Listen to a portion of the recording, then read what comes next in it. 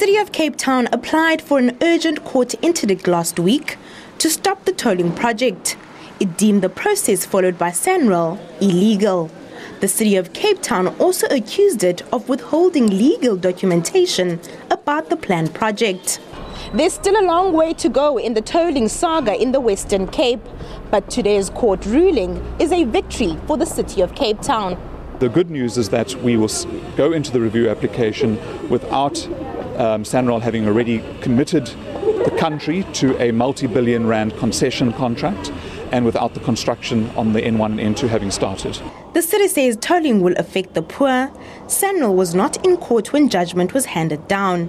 The road agency issued a statement saying it respects the court's ruling. Nomo Tusolwandle, SABC News, Cape Town.